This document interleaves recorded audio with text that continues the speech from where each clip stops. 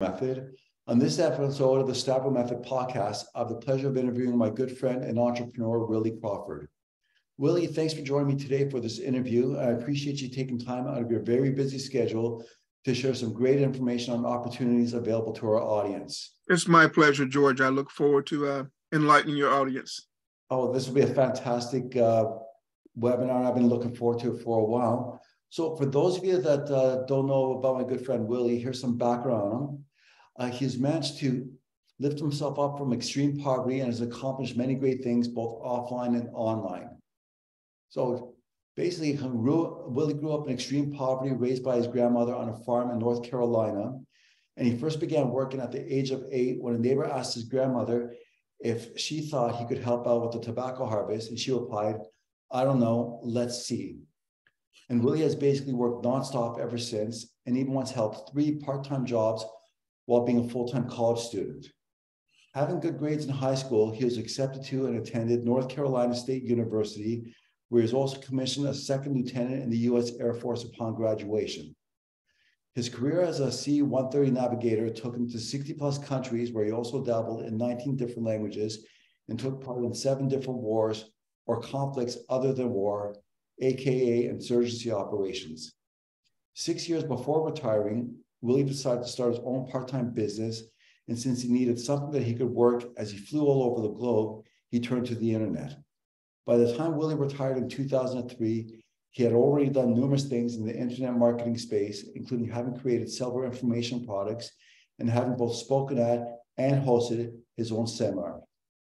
Like many ADHD entrepreneurs, Willie has subsequently tried and sometimes succeeded at numerous things.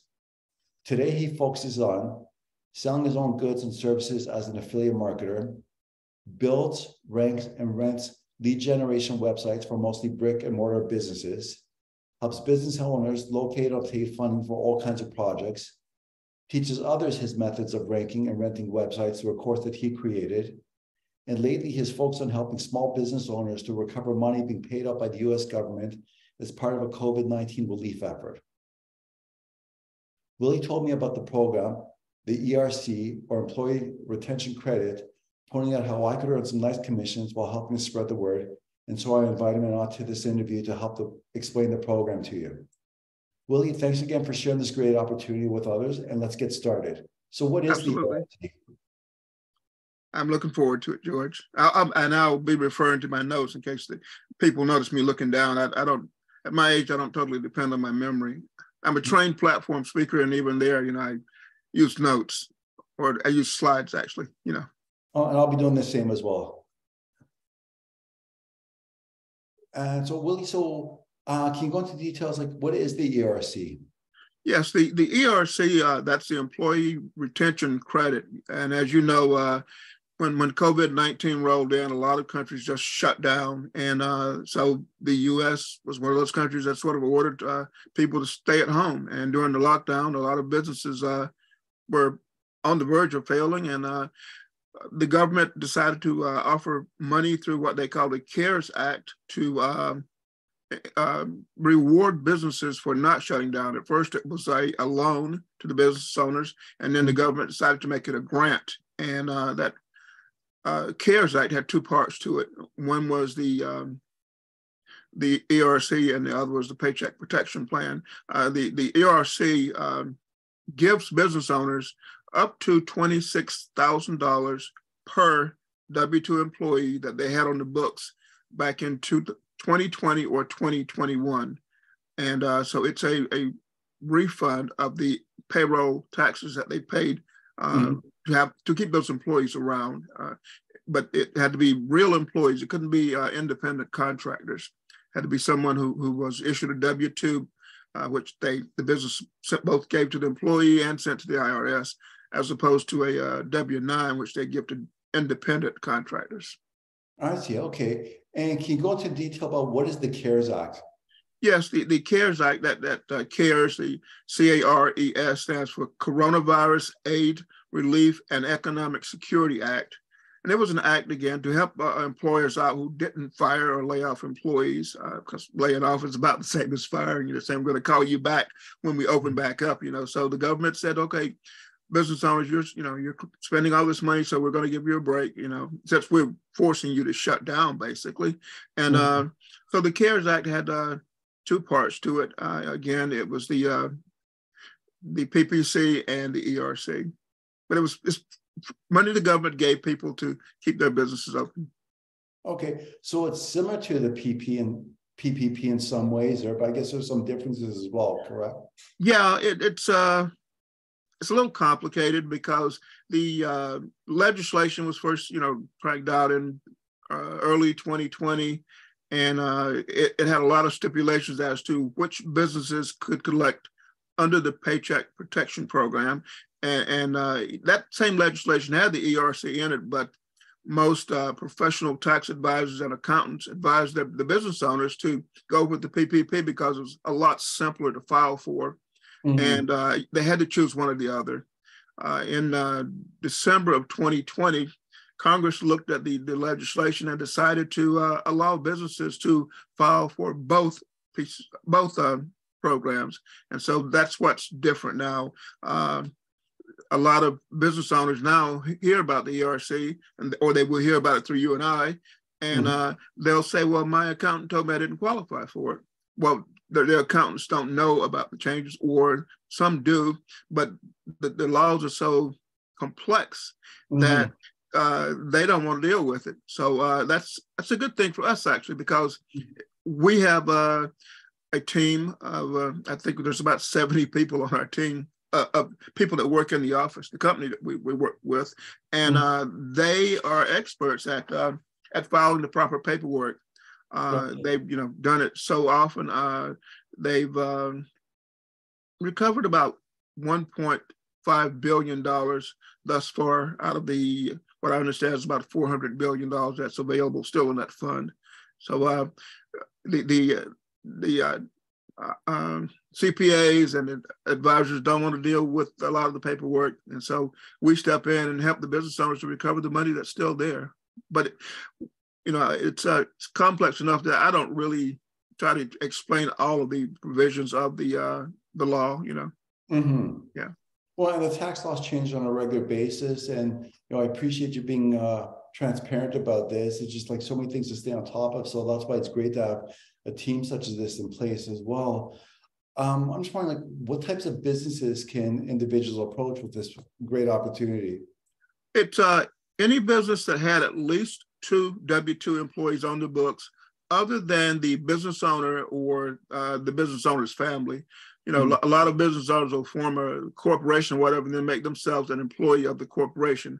Well, they don't count uh, in this case. They have to have at least two employees on the books who were not family members or them, and they can have up to 500 employees on the book. They can collect up to uh, that amount of money. So, uh, so again, it's uh, up it's up to twenty six thousand dollars per W two employee that they mm-hmm. had on mm-hmm. the books for 2020 and or 2021, and they could have up to 500 employees. So if uh, we go out and we, I say, hit the jackpot, that is, we mm-hmm. find that company that had uh, the max of 500 employees, and those 500 mm-hmm. employees all met all the requirements right. uh, to to they they pay basically the company paid at least twenty six thousand dollars in payroll taxes on each of those employees.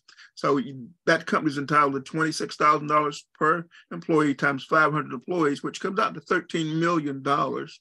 Wow! And you and I, uh, as brokers, we would get a commission of two percent. Mm-hmm. 2 mm-hmm. percent of thirteen million dollars is two hundred and sixty thousand uh, dollars, which is pretty powerful you know, so you know, this is this is uh, it got my attention. You know, most businesses we approach aren't going to have 500 employees, of course, uh, mm-hmm. but uh, you know, I, again, I say if you hit the jackpot, you you get two hundred sixty thousand dollars for basically making an email introduction, an email or and or a text introduction to our project manager. Yeah, exactly. Yeah. Well, it's still a great opportunity. Like, you know, regardless, like, you know, what size companies that you go after, it's just a matter of tapping into the resources you have available and make the most of that. So as far as like you hitting the jackpot, like would you say that happens often? No, it, it doesn't. Uh, my uh, project manager and I were talking. He told me that the average company, average size company that we we uh, land, they end up getting about three hundred thousand dollars back. And so the broker, the person who referred the business to us uh, or to the company, would earn two percent on that three hundred thousand, which is uh, six thousand dollars. And we have a two-tier program actually. So um, I would actually get some money out of that too. I'll explain that later, though. Uh, but the, the, average again is is about uh, three hundred thousand. So you know, again, a six thousand dollar commission just for making an introduction is not bad. You know, you could do that in like ten minutes. You know, just I don't know, you're standing in line at the supermarket and the guy behind you runs a business and you just start to strike up a casual conversation or you do whatever and uh, you know, you, you get the you could end up with six thousand dollar check in that five minutes standing in line at the supermarket, you know.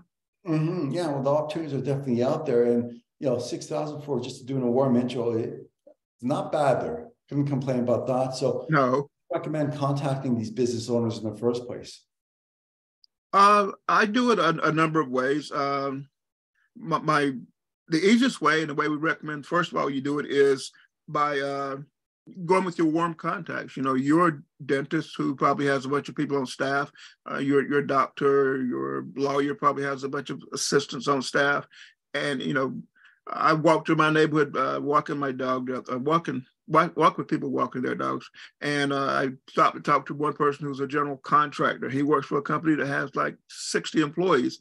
I asked for a business card, and uh, you know, so it, it's anybody and everybody that owns a uh, a business. I personally reach out using um, social media. So any of my Facebook or LinkedIn contacts, you know, I look at their profiles and if they own a business, I'll ask them, you know, have you filed for the uh, the ERC yet? And they'll ask, what's that? And uh, I explain, and uh, they either say yes or no if they're interested, mm-hmm. and they want to know more information. Uh, that's an easy connection. I also use uh, emails. I, I, have my own newsletters. And so I mentioned the program in my newsletters, a little advertisement, a little blurb there. Um, I send out uh, physical mailings. Uh, you and I are familiar with uh, send out cards. Well, I, I have a, a, database of just business owners I've known for a long time, but I also purchased a couple of databases. Um, there's a I'm a member of an organization called ITEX, which you're also in. Uh, mm-hmm. There's a, a guy there. There's lots of guys there who are list brokers, but mm-hmm. I reached out to one and he sold me a list of every restaurant in the U.S. Uh, wow! that database tells me not only the standard contact information, but also uh, the number of employees and their annual earnings and what type of restaurant it is. So I I will uh, you know, in my spare time, just every day send a couple of uh, greeting cards to this business owner. And the thing with greeting cards is, unlike emails, which may get may hit a, a spam folder, mm. spam filter, uh, th- you know this is going to at least get through. And if you address to the business owner, he's probably going to open it and look at it. You know, so. Mm. Uh, you know, it, it's a way to actually get through to the business owner. Whether or not he throws it in the trash afterwards is um, uh, up for discussion. But uh, I have a plan with with send out cards where it's like uh, ninety seven dollars a month for me to send an unlimited number of cards. So what have I got to lose? You know, uh, oh, postage in the U.S. is sixty cents per uh, per letter, first class letter. So I I can send out like um, the, the company that send out cards has a fair use policy which says you can't send more than twenty five over on the plan I use, the ninety seven dollar a month plan you can't send more than 25 a day without them saying, whoa, you know, you're abusing the system. But yeah. 25 times, you know, 30, a 30 day period is like over 750 cards. mm-hmm. And, the, you know, the postage on that's like almost $500, you know, so I get away like a bandit there. And yeah. so it's very easy for me to reach out to people. I'm sorry. Well, I'm just saying, Willie, it's also a, a matter of being smart about that as well. And it's interesting that you mentioned, like, you know, the whole, like, you know, sending out a physical uh, cards compared to email. Like years ago, before the email was popular, emails would stand out because they're kind of few and far between. Right. we're so bombarded with it, the physical cards stand out. You know, so it's just how things kind of changed over the years. We're going back to just the so-called uh, old time approach. Yeah, I'm I'm a uh, ways. I've studied direct mail and, marketing for years, and uh, you know, I, if I wanted to get really creative, I could use something like Lumpy Mail, where you you know you put something in the package. It could be something as simple as an envelope, or mm-hmm. you could mail a package with a shoe in it that says I couldn't get my foot in the door in the other way, or something you know, clever like that. Um, but basically, I just reach out to my connections. You know, uh, we all have we know a lot of people online. I mean, uh, and, and so on social media, you know, we we call them friends, and some people have like me, five thousand on Facebook. But I actually, you know, look at the people's profiles and the ones who own businesses.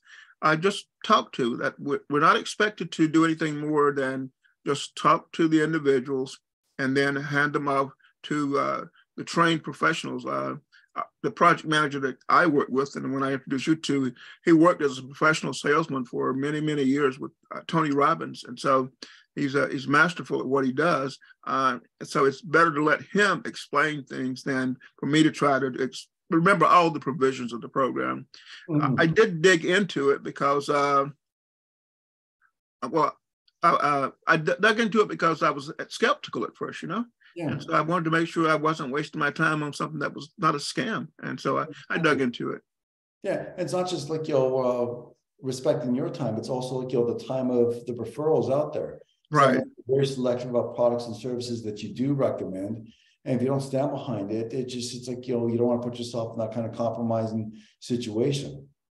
Right, right, and and you know you owe it to the people that you talk to, uh, and, and a lot of this is uh, is built on trust. You know, uh, our uh, uh, project manager, uh, what he does is he, when, when I do an email introduction, I, I, do an email and text for business owners. When I yeah. do that, he reaches out to them and uh, he gives them his calendar and he says, uh, you know, pick a time on my calendar and he says yeah. probably won't take more than 10 or 15 minutes to just get, get a bit of information but what he's getting from the business owner is uh, their tax uh, filings paperwork. So mm-hmm. they've got to trust me enough to trust the company that I'm handing them off to. And uh, then, you know, he takes that data and files an amended tax return mm-hmm. for the uh, the business. He files a IRS form 941, which we don't need to explain, but no. uh, you know, when the business files its taxes, that that the payroll portion of the tax paperwork they have to file. So we're filing an amendment to that for them to get the rebate, basically. Very nice. And Willie, since you told me about the opportunity to be a broker, um, do you want to share with our audience why you did that? Well, I did it for two reasons. You know, first, uh, we're friends, and and uh, I know that I knew that you were uh, looking for ways to make a little extra money. Uh, we all are, you know, especially with the uh, uh, looming recession and all this other stuff, you know, and and and money being currency being devalued because we're printing so much around the world too, and so uh, a lot of us will need the extra income, and so I, I thought this was the perfect uh, opportunity again. I you know, with the average person uh, average business owner getting back three hundred thousand dollars, and that's a six thousand dollar check. That's more than many people earn in a, a, month or two or three months, even in some places. So, mm-hmm. uh, you know, it, it, was something that was good for you. But selfishly, um, whenever I refer a broker, that broker gets two percent. Mm-hmm. I, as the, ref- the one who referred that broker, I get one half percent of what the broker gets. I, I get one half percent of what the business collects. Mm-hmm. So on that business that collects the average business that collects three hundred thousand dollars, the broker you that I referred would get uh, two percent or six thousand, and I as referring referrer of you would mm-hmm. get one half percent of what the business collected, which would be fifteen hundred dollars. So I thought to myself, yeah, why not build an uh, army of uh, sub affiliates, if you want to call them that. And uh, each time one of those persons makes a refers a business, and that business, you know, gets back that average of three hundred thousand dollars, that's a fifteen hundred dollar check rolling in to me. We're mm-hmm. doing nothing more than getting you to sign up as a broker, basically. Mm-hmm. Yeah, so it, it just makes perfect sense. And at the same time, I realize that most people, when they sign up for any kind of a business, they, they do very little. And so I look for self-starters, you know, the go-getters. I, I, it does no good to build a team of 100 people. I don't want 100. I want like 10 or 20 that actually do something. yeah. gung ho about. Yeah. Yeah.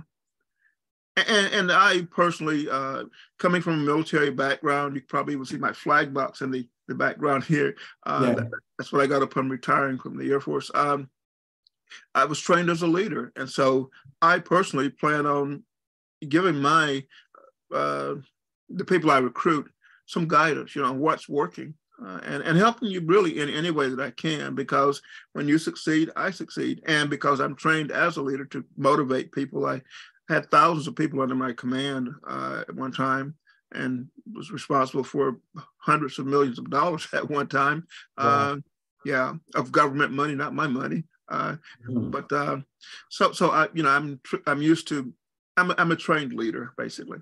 Yeah. Well, and you're very giving and generous of your time. And it's like you know, whenever I reach out to you for anything, you know, you know, you're right there for me, and I know that I can count on you as well as the, the rest of the people watching this podcast. Oh yeah, absolutely. I mean, again, when you succeed, I succeed, and uh, you know, we, and and the business wins. I mean, we we want these business owners that some are struggling. Uh, this money that they get back on the ERC, the government doesn't have any provisions as to what they do with the money. Uh, mm-hmm. The business owner could just keep the money, or a nice business owner. If I would give my employees, you know, a bit of it back. So let's say it was payroll taxes, but you doesn't have to. You know, the business owner can do whatever they want with it. We, but we just help them to get the money back. You know, and yeah. some may be out on the verge of closing down, and that this is a lifesaver for them. Mm-hmm. Yeah. yeah a lot of businesses have suffered with the whole COVID situation the past, I guess, two and some odd years. So it's just yeah. it's like you know the impact that it's had. Like we just didn't know like how long it would go on for or the severity of or anything. Um, Willie, a question for you. So how long would this short-term U.S. government program be available? Uh, it's another 18 to 24 months. Uh, and this, this is just an estimate. Uh, the, the, law is sort of vague, but if a business uh, gets their paperwork in within, we think, 24 months, uh, if the program shuts down, their paperwork is still in the system.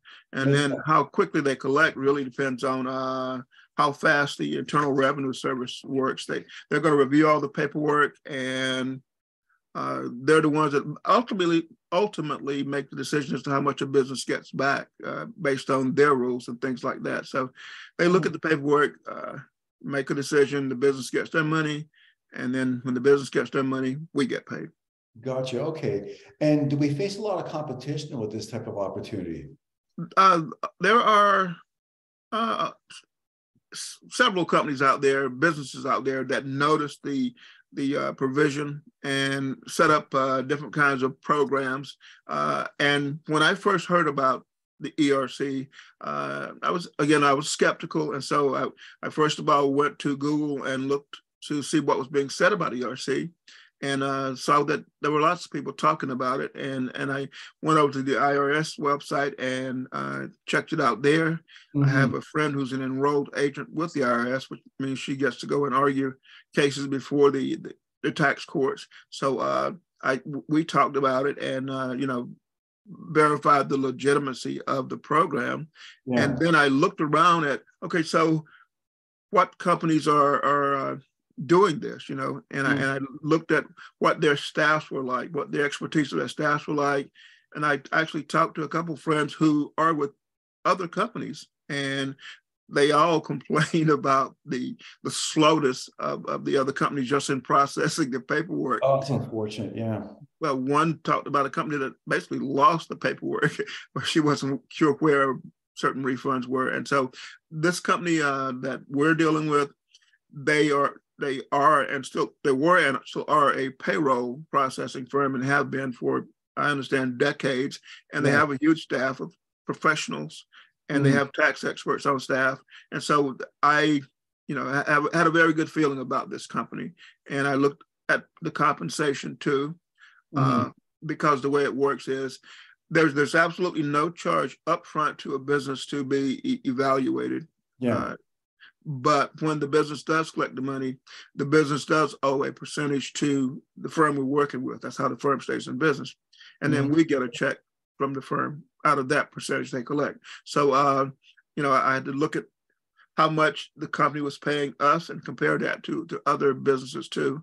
and uh, I went with what I thought was the best. You know, if I would have felt there was another one that was better, I mm-hmm. probably would have gone with that one. You know.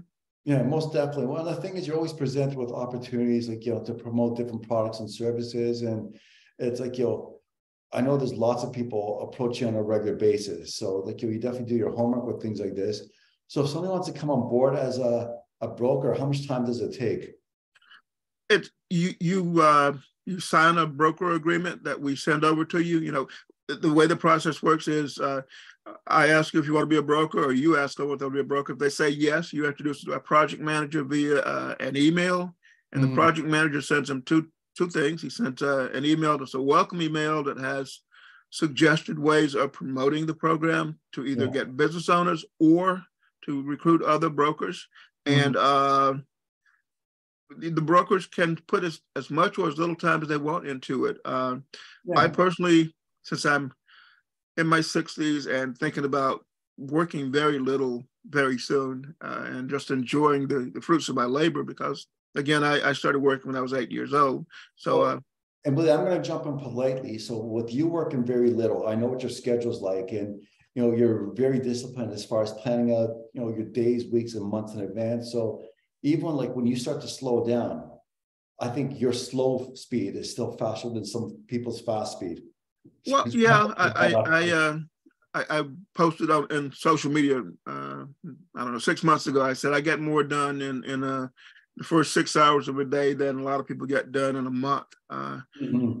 and, and, it is because I am disciplined. You know, I I don't look at my cell phone until I've done certain things. I shut off my uh, the ringer on my phone so people can't even call me at times, and then I really focus on things. Well, and you're very and, proactive, and like you'll even just arranging this call. It's like you'll because some people do it like you'll maybe a couple days before, and we've had this in our calendar for a good part of a week or something, saying it's like, okay, well, what's the best day for the most part that works for you? It's like, okay, let's go Sunday in and around like you know early afternoon and the moment that like, you know, we reach out to one another, it's like, good, it's there, it's done, and let's just move on rather than hemming and hawing. And then like you schedule something an hour from now, life gets in the way. So just jump on opportunities while they're in front of us. Right. And, and a lot of people um, are just extremely poor at time management. Although mm-hmm. you you don't really manage time, you manage yourself because you, we can't control time.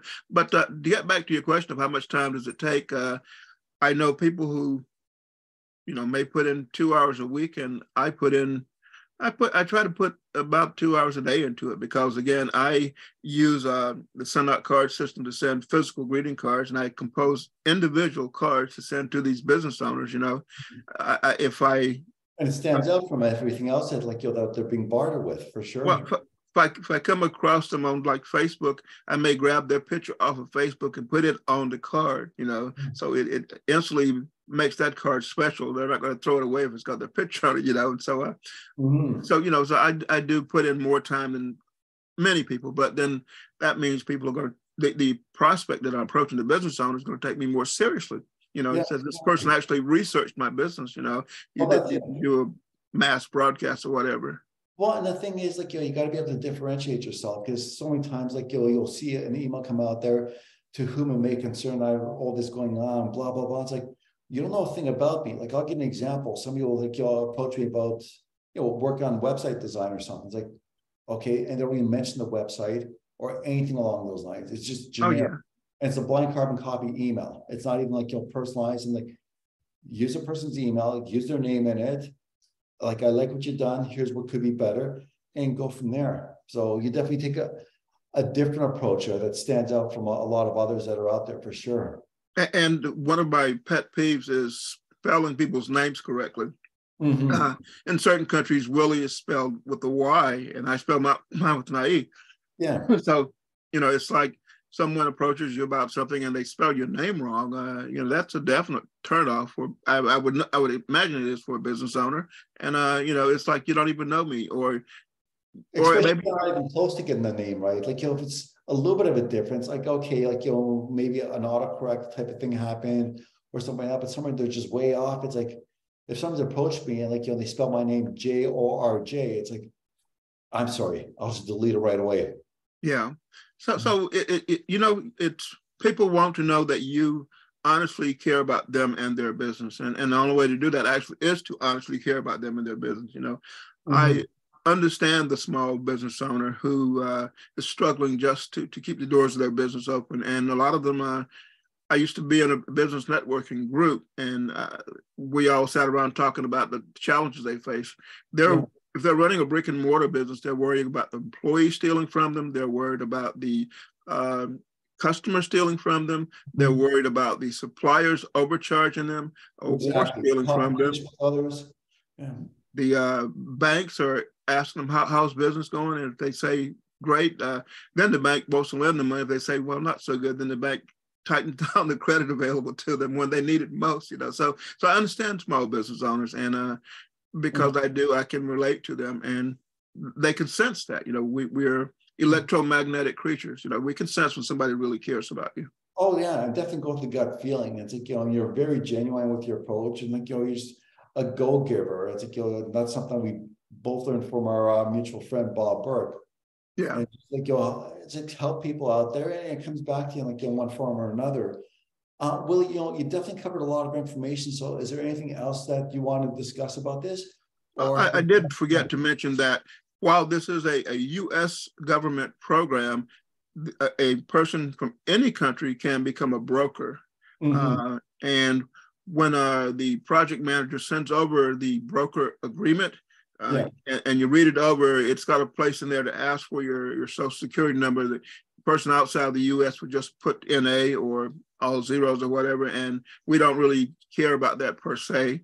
Uh, it you know it, it's just, just just to keep the paperwork proper but so when you're looking at building a team what i thought to myself is there are a lot of uh, you know influential people influencers or, or go-getters yeah. from lots of countries that know lots of american business owners you know i think of some friends in some place like dubai that uh, i've talked with regularly and so those people make perfect uh, brokers for you to recruit and so that's mm-hmm. why i mentioned you can recruit brokers from anywhere and uh, they get the same training. Uh, we, we, do have twice a week training calls, but yes. the training calls are a project manager jumping on a phone, and we all call in the one conference number, and he he'll mute us typically uh, because people don't mute their own phones and have things going on in the background. So he'll mute us and he'll explain the program to the new brokers. So yeah. you only really need to attend one of those these calls, and, mm-hmm. and uh, he'll explain the program, and then he takes any questions. Uh, now I've been on several yeah. because people ask different questions, and he also covers what people are actually doing now, what industries they are approaching people in and having tremendous success, you know, with. So uh, that's why I tune into several calls, and and even even though I'm not asked, sometimes throw my opinion out there. yeah. Well, and the thing is, you do have such an extensive business background. You can relate to people in so many different areas. Um, Willie, let go. Our times are starting to run up a little bit over here. So I'm thinking, how about we wrap things up if that's okay with you? That's okay. I, I think that if people have any additional questions, uh, they could they could ask us. You know, you and I both plan on sharing this uh, with our audiences. Uh, I, am going to post it on, on my website and um, I have a podcast too, and mm-hmm. uh, and, and, underneath the uh, the video where I share it, I'll post um, links uh, for them to to reach out to us. You know, so that these uh, resources we mentioned, uh, you know, that they they'll be able to.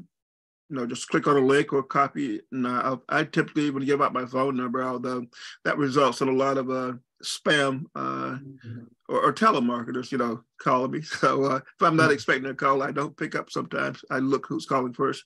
And I give up my email. Uh, Gmail is very good at filtering spam. So I check my spam folder before deleting, but I, I give, I make it very easy for people to contact me. Um, I'm not hiding from anyone. Uh, but uh, yeah, uh, I think it's, it's a good idea to wrap it up and uh, that way we can uh, get this uh, distributed to the world Exactly. Really yeah. quickly. Okay, well, you know what? I'd like to thank you once again for covering this incredible opportunity today. Um, I'm very excited about helping businesses and employees get them board with us in the ERC program. So I'd like to thank you once again for joining us for this episode of the Stavrou Method podcast. And until next time, everyone.